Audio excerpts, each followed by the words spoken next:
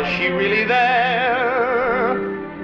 Or did I somehow just imagine her as starving men see menus in the air? No, I didn't imagine her.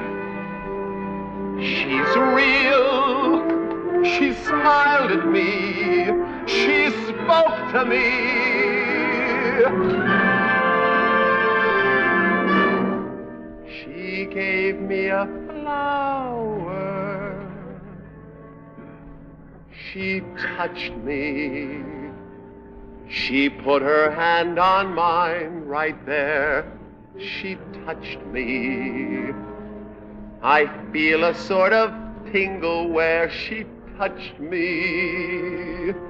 A sparkle, a glow. She knew it. It wasn't accidental, no. She knew it. She smiled and seemed to tell me so all through it. She knew it. I know.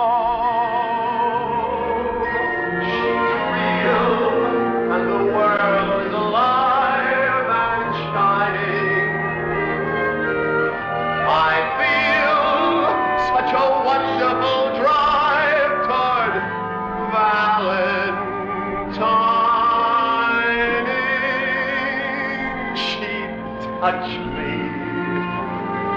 I simply have to face the fact she touched me.